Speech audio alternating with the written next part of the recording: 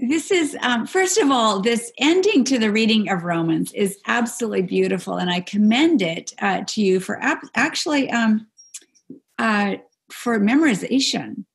Um, the advantage now that you have been freed from sin and enslaved to god the advantage you get is sanctification which means your holiness your your um, just the juicy goodness of um, full life, full health, full fullness of life. That's sanctification, holiness. Um, and the end is eternal life, which is not heaven far away. It's right now. It's like how we live and move and be in this world uh, right now. Um, it's seeing like all the color. It's seeing, it's living life in full color, opposed to just black and white. Um, that's eternal life. For the wages of sin is death, but the free gift of God is eternal life in Christ Jesus our Lord. That is absolutely, that is really good news. Um, and I, I, just want to lift that up.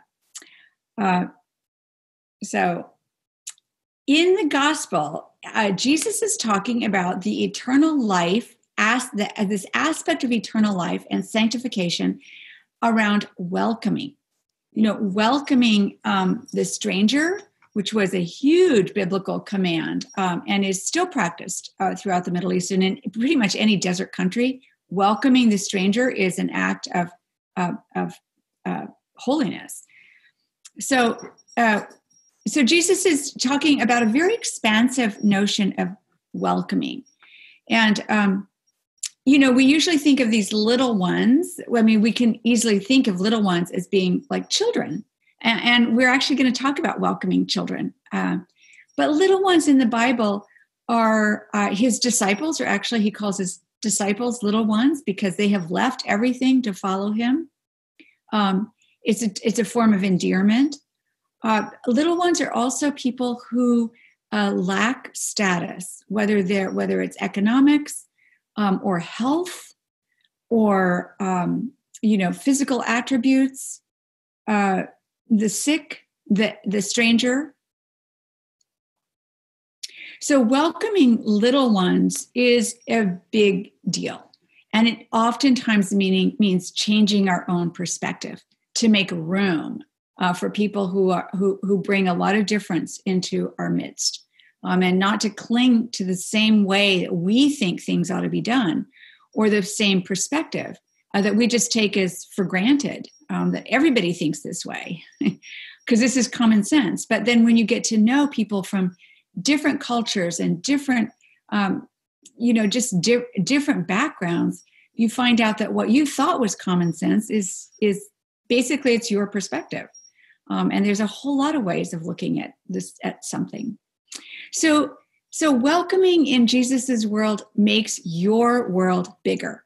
It makes your uh, experience richer uh, it gives more you know color to your world more eternal life holiness in your own world.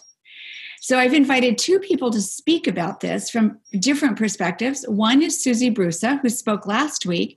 Uh, susie is the ceo of rancho cielo. She was the, uh, named the 2018 businesswoman of the year. In 2019 her organization rancho cielo uh, was named by the Chamber of Commerce as Business of the Year.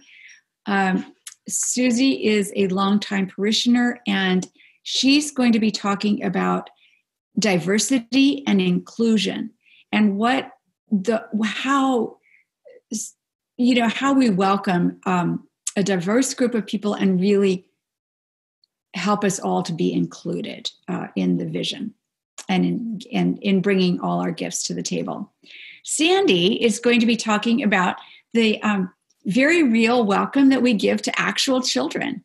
Uh, and so I, I just want to begin there. You know, Good Shepherd is known for welcoming children. We welcome almost 100 children uh, into our um, community every year.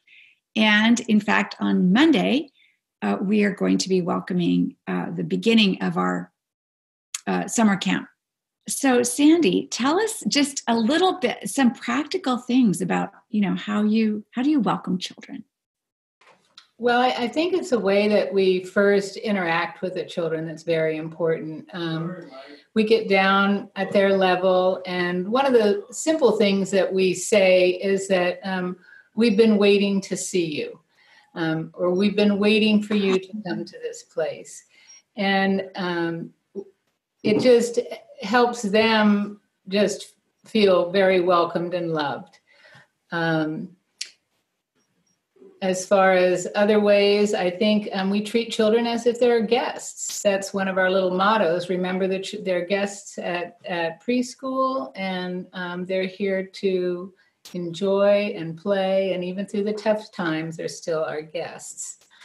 So, um, and we just have a wonderful, welcoming, diverse staff as well.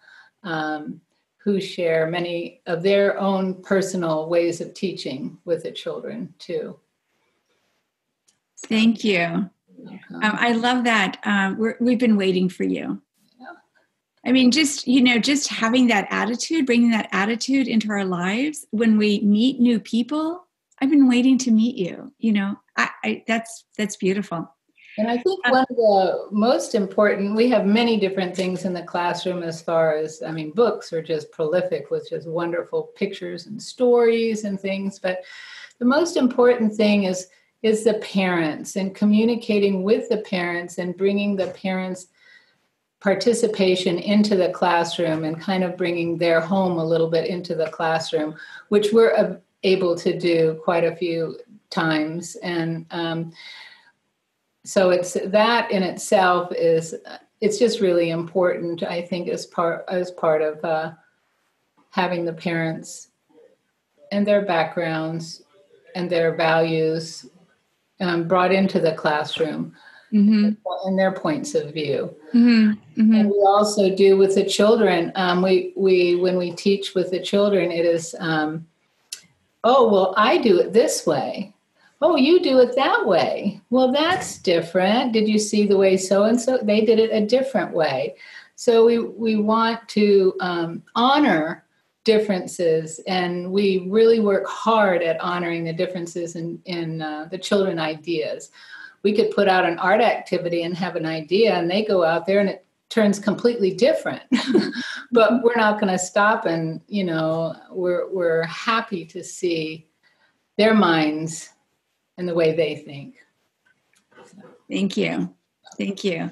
And I know that the preschool also just incorporates as a regular practice. Um, you know, in the cooking kitchen, you told me there's there's a wok, there's a tortilla maker. You know, that it's just incorporated these different uh, cultures mm-hmm. into the activities. Thank you. We're very, very fortunate at Good Shepherd to um, to you know be practicing uh, in real life and we can always learn and want to learn more about um, being both diverse and inclusive. And it takes work. Uh, you know it's it's not it takes us always uh, looking at ways that we can extend ourselves further and make room for other visions um, and other gifts.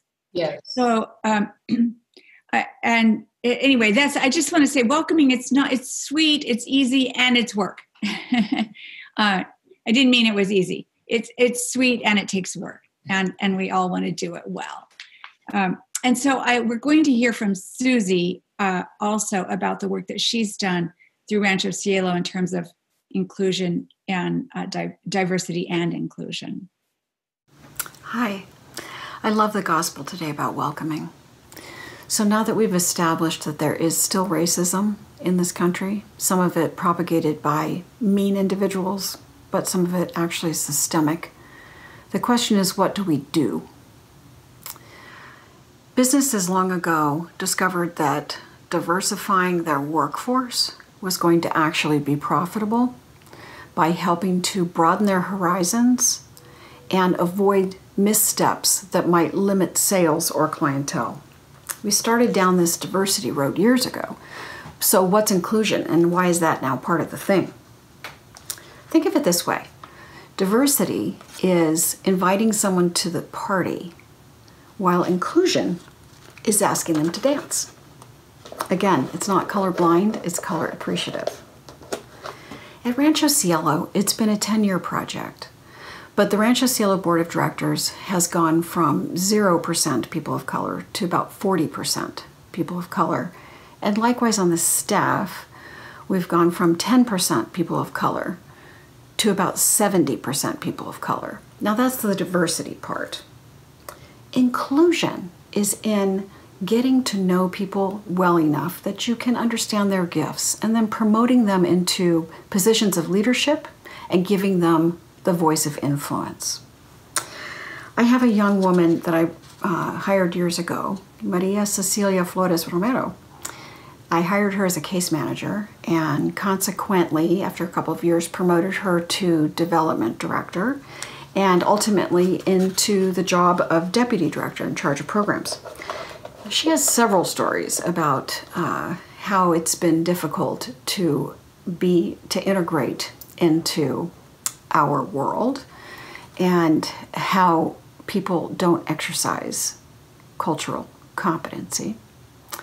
Um, one of our volunteers, a former board member actually, when they were planning for one of our major fundraisers, the committee was hoping to have mariachi for entertainment. So he, after the meeting, sent her an email suggesting that it would be easiest if she did the research on the mariachi because those are her people. She was taken aback. Uh, she very carefully explained responded that, in fact, as she was from El Salvador, and mariachi is not part of their cultural heritage. But she offered to ask her husband, who's of Mexican descent, although he was born in this country, whether or not he had any contacts. I think cultural competency, part of it is in getting to know people well enough to understand what they bring and what's their story. Don't assume every Latina is from Mexico.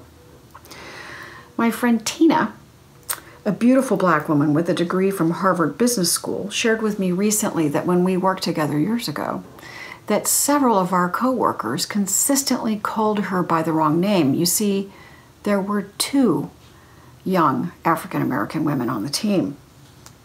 Lesson number two learn people's name. That's how you can make people feel welcome. So I think to wrap up, I think it's important to remember that tolerance and acceptance are not the same as authentic inclusion, authentic integration, and intercultural competency. Welcome.